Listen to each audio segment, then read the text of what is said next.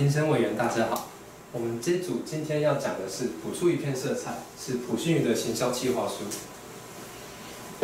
大纲的部分，我们主要会琢磨在行销架构、策略及执行方案、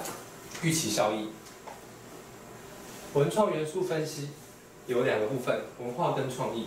文化是由普信宇的生活经验，他作为一个画家的一生故事，来教育民众，增加对普信宇的了解。创意则是由文化走入民间一般日常生活，譬如增设艺术鉴赏课程，让一般民众也可以欣赏到普信宇的画作。企企划构想分为四个，文化体验借由举办巡回特展、餐厅的情境设计，来让民众可以体会到普信宇的生活环境以及他的方式。文化参与则是由基金会举办的一鉴赏课程、拍卖会以及旅游行程，让民众也可以参与到普信宇的文化。文化传承则是由年轻的艺术艺术家可以以普信宇的角度展现出自己的专长。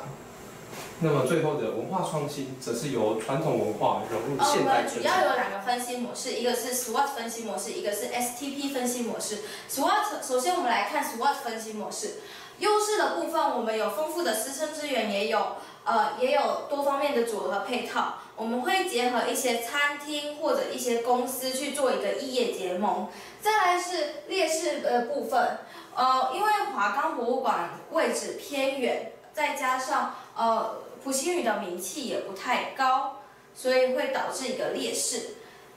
机会的部分是学校都会提供呃文化，就是两岸的交流，还有会提供一些产学合作的管道。威胁的部分是因为市面上的各类的书画文创商品已经太多了，导致我们的客群分散，容易流失。再来是我们的 STP 模式。我们主要，我们主要呃会目标客群是比较主要呃学生、青年学生以及专业人士的部分去作为分析。青年学生部分我们会提，我们会鼓励学生，就是两岸的学生去做一个文化的交流。专业人士的部分我们是会举办拍卖会，然后就是拍卖到的钱啊金钱我们会去做一个慈善的捐款。顺便提高普星宇的呃名气。接下来我要跟各位讲的是行销架构。那我们主要是以基金会作为主体，并分为六个小项。那其中第一个小项是网络社群行销，那主要是会有互联网平台、网络销售推广，以及普星宇作品官网以及部落部落格行销。那再来是公关战术，主要是操作新闻媒体。那再来是展场行销，主要是。在负责华冈博物馆以及建国南苑的策展，还有 Google 虚拟博物馆的计划。那在第四个是租艺术品租赁，那主要是创设艺术品租赁以及买卖交易平台。那在第五个是复合式餐饮经营，我们为普信鱼创造了一个文创商文创餐厅，叫做新鱼文创餐厅。那再做一个是文创商品开发，那主要的话就是开发普信鱼系列的文创商品以及买卖交易平台。好，那接下来的话是文创基金会定位以及工作规划。那我们基金会的定位是统筹普星鱼作品推广计划的中介经济，以及负责联系跨界异业合作，还有开发潜力艺术家，还有推广普普星鱼画展之策展。那我这边就先讲一下，那我们第一个就是会有作品官网以及 Facebook 的专业。那主要呢，我们会利用数据行销数据分析来抓住客群，并进行行销。那接下来我们会创造一些品牌，就是刚刚所提到的互联网以及艺术品。那接下来我们接下来的话四五点的话就是策展的部分，就是华冈博物馆以及建国南苑的部分。那第六个部分就是 Google 虚拟实境博物馆。好，在第七点的话是与北京恭王府博物馆以及华冈博物馆普信宇馆的合作，就是策略联盟。那第八点的话就是刚刚所提到的文创餐厅以及咖啡厅车展。第九点的话就是。普心于画风鉴赏课程，那在第十点跟第十一点的话，主要就是进行买卖交易的平台以及拍卖。其实我们将会跟大家解释我们的行销策略以及执行方案。首先是我们要看看我们的行销企划目的。第一个是提升普星宇的知名度，第二个是增加普星宇以及其画作的媒体曝光率，以及增加观众到博物馆的参观率。第三个是强化普星宇博物馆的特色发展。第四个是提升大众对普星博物馆的认知度，第五个是活络普星作品的流通以及鉴赏。接着我将会更详细的为大家解释这我们针对这几个目的如何去做。首先，我们先看看我们的核心策略以及执行方案。在这方面，我们分为 A、I、D、A、S。首先在 A 引起注意的方面，我们会通过 YouTube 以及电视节目等等的管道，去增加大众对普星鱼的认知以及提高普星鱼的曝光率。然后第二个是增加兴趣，我们通过咖啡馆、刻字化编辑器等，借由故事等等，加深蒲星鱼的呃蒲星鱼在大家心目中的一个印象。接着在他们在这其中的参与当中，就会逐渐更加进一步的去呃了嗯天增他们对普星了解的兴趣。然后在刺激欲望的部分，我们会通过租作品租赁、拍卖、线化课程等等比较有趣的方式。让他们在不知不觉中已经走进普希云的世界。接着有一个群众效应，当他跟身边的家人朋友去分享的时候，一传十，十传百，同时就是进一步的达到我们的提升口碑以及引起大众注意，增加附加价值以及提高销售率的一个一个意义。然后到促使行动方面，我们去嗯众所周知，嗯优惠对于大家大众来讲都是十分重要的。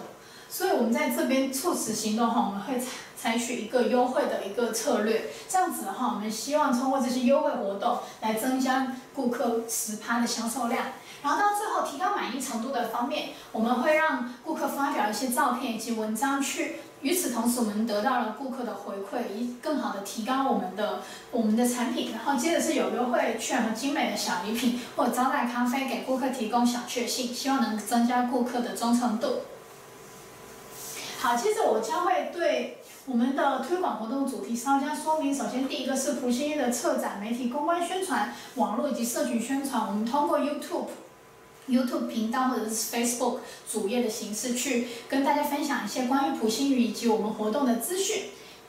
希望能利用网络媒体的力量，增加我们的曝光度，以及更多的人去了解到有这个活动。然后，对第二个活动是购挖起普星鱼的一个画展门票销售，这是通过网络的平台，让大家可以更加方便的去买到早鸟票。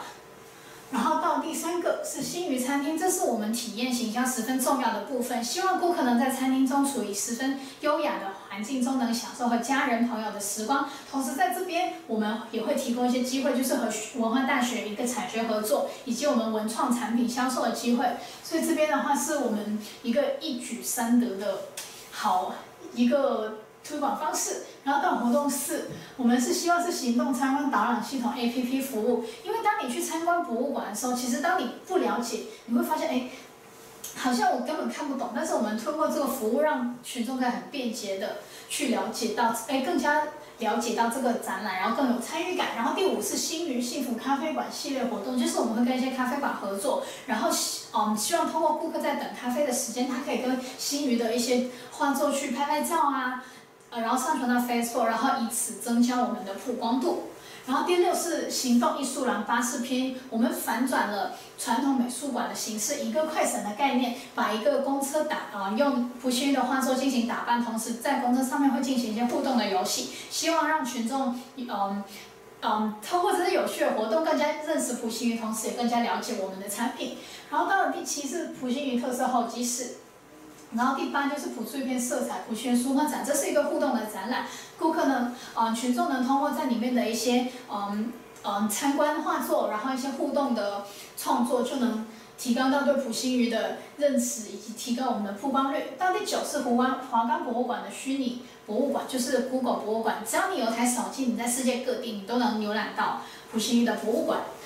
然后第十个是新宇感恩五月天慈善公益拍卖会，作为嗯，除了我们通希望通过这个呃行销方案去赚钱和行销文化之外，其实我们最重要的部分还是社会责企业社会责任，所以在希望在这个公益拍卖会里面能让新的作品进行一个流通，同时也能嗯对社会有贡献。然后到最后就是我们蒲新玉的书画作品的收藏鉴赏班，这个鉴赏班的话。嗯，希望群众能通过这个有趣的班级，然后去了解到普希，同时他们会不知不觉成为他们的话题。好，接着到我们预期下来的部分，在网络社群行销的部分，我们是希望每年约有一百万人次的使用。然后在文创商品的开发，我们希望我们每年的收入会有一百万，每年新开发的产品有六个品项，同时提高民众对普西艺术品的认识，激发进一步了解的兴趣。在复合式餐厅经营的部分，我们希望每年会有五十七万人次的造访，被五家媒体美食杂志报道。然后在展场行销的部分，我们希望民众、师生的学者能在一起进行一个参观交流。然后在量化上面，我们希望每年参观的有一万一次。谢谢。